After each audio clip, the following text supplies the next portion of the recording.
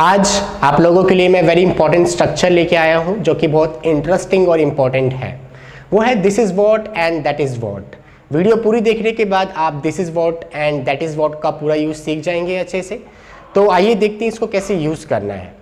हिंदी में मेरे पास आता है, यही तो वही तो। सेंटेंसेस मैं कुछ ऐसे बोलता हूँ कि यही तो मैं चाहता हूँ। यही तो चाहिए मुझे।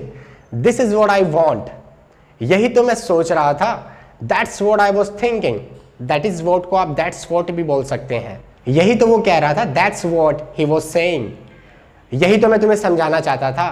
That's what I wanted to explain you तुम यही तो नहीं समझते। This is what you don't understand I believe कि आपको this is what and that is what का पूरा यूज़ आ गया होगा। अब आपको कमेंट बॉक्स में जाके ये दो सेंटेंसेस ट्रांसलेट करने हैं। वो ये है। यही तो मैंने कल खरीदा था। यही तो हम खाते हैं। तो ये दो सेंटेंसेस जाके कमेंट बॉक्स में ज़रूर बना देना। ये तो नाम की पार्टी है, वो तो नाम का भाई था। तो इन सेंटेंसेस में नाम के लिए नेम वर्ड नहीं आता है। क्या आता है, वो मैंने इस वीडियो में समझाया है।